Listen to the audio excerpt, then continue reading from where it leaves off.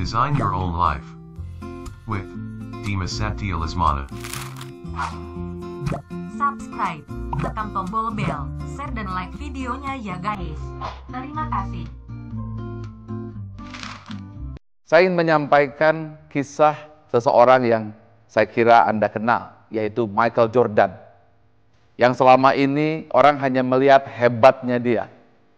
Yang melihat bagaimana tinggi loncatan Jordan. Tetapi ada hal yang penting yang harus kita ketahui. Bahwa dia pernah gagal 9.000 kali tembakan, meleset. Bahkan kalah di 300 kali pertandingan. Dan ketika pertandingan penentu, di mana dia yang melakukan eksekusi, 29 kali gagal mengakibatkan timnya kalah. Dan pernah ditolak di klub basket karena badannya tidaklah terlalu tinggi. Ketika SMA, dia juga pernah menangis karena tidak boleh bermain basket. Tapi ibunya menghibur. Apa kunci keberhasilannya? Bukan berada pada tembakannya yang hebat. Bukan dengan loncatan Michael Jordan yang tinggi yang nampak. Tetapi pada subconscious mind-nya. Pada alam bawah sadarnya yang menjadikan dia juara sebelum menjadi juara.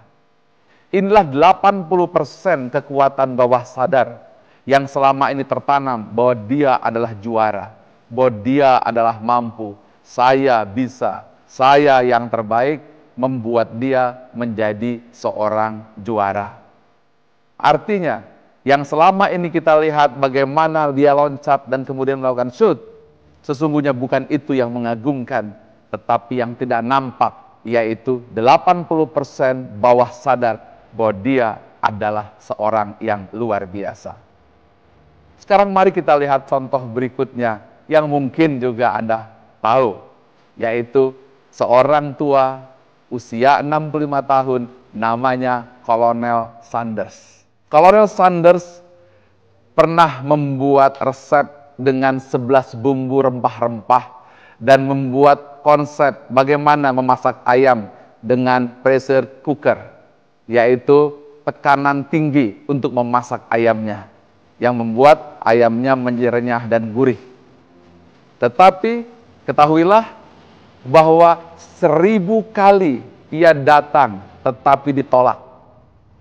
Berkali-kali, satu persatu datang ditolak.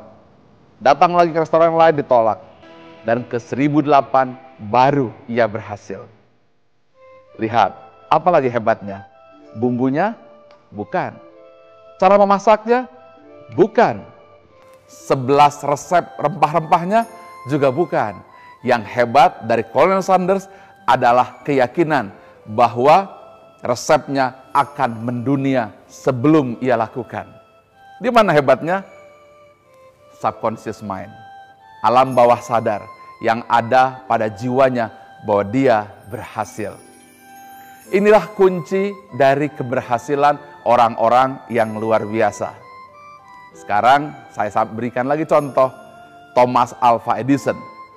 10.000 kali gagal untuk mencoba berulang-ulang menemukan bola lampu.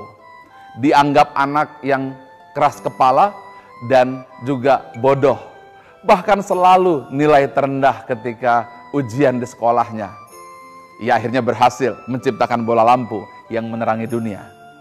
Ia pernah ditanya, Alva Edison, bagaimana dan saran Anda apa apabila untuk jadi orang sukses? Dia katakan, agar sukses tambahlah kegagalan. Mungkin ada heran, mengapa tambah kegagalan? Ketika tambah kegagalan, sebenarnya bukan masalah kegagalannya yang dibentuk. Tapi ketika tambah kegagalan, di situlah kita tidak boleh goncang untuk tetap menjaga keberhasilan di dalam diri kita. Inilah 80% alam bawah sadar yang membuat Thomas Alva Edison, Colonel Sanders, ataupun Michael Jordan mampu mempertahankan usahanya di tengah berbagai ujian dan hambatan. Jadi kesimpulannya apa?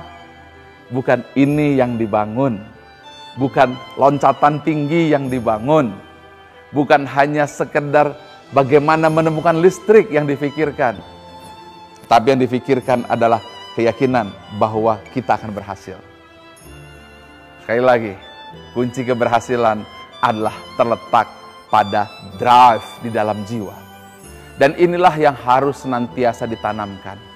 Kata-kata berhasil yang diucapkan berulang-ulang. Kata-kata saya bisa yang harus ditanam berulang-ulang. Tidak boleh mengeluarkan kata-kata gagal yang bisa mempengaruhi keyakinan pada diri kita sendiri. Dengan segala kerendahan hati, izinkan saya juga bercerita. Buku ESQ saya tulis di tahun 99 dengan tulisan tangan. Kemudian di tahun 2001, buku tersebut saya cetak. Tapi sebelum saya cetak, saya sudah coba tawarkan ke berbagai dan hampir seluruh percetakan yang hebat di Indonesia. Kesimpulannya, saya ditolak. Saya sedih sekali, apa kurangnya dari buku itu? Akhirnya terpaksa dengan sisa uang yang ada, buku tersebut saya cetak sendiri. Setelah saya cetak, saya sendiri harus datang dari rumah ke rumah, datang ke ibu-ibu pengajian, ibu-ibu RT, musola-musola kecil, berhari-hari, berbulan-bulan.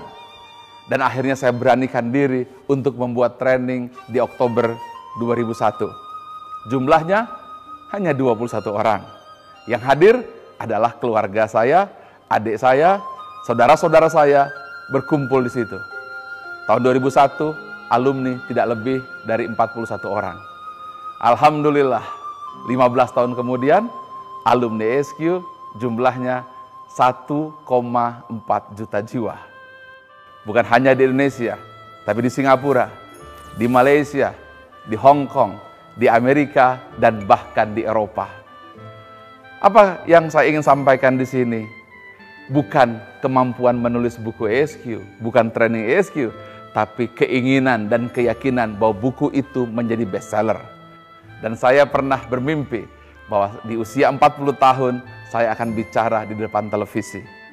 Ternyata benar, di usia 40 ratusan kali episode di berbagai TV nasional di Indonesia. Apa kuncinya?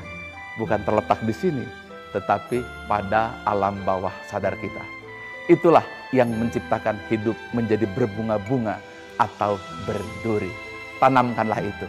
Dan dikatakan bahwa di dalam diri manusia ada segumpal daging. Kalau baik, baiklah semua. Kalau buruk, buruklah semua.